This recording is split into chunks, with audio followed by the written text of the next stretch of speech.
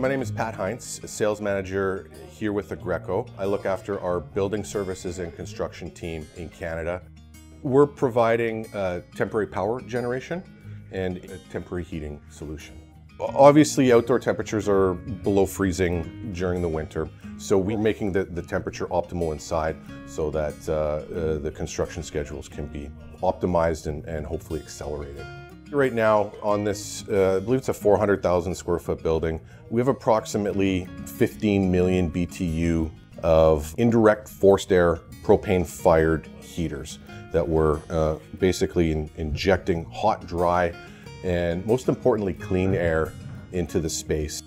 When we're working with a contractor on a project, we'll compare and contrast different types of fuel sources that are available. In, in this instance, it was determined that a propane fuel supply was vastly more economical than going with a fuel source such as diesel. Just comparing fuel to fuel, it was 40 to 50% fuel savings.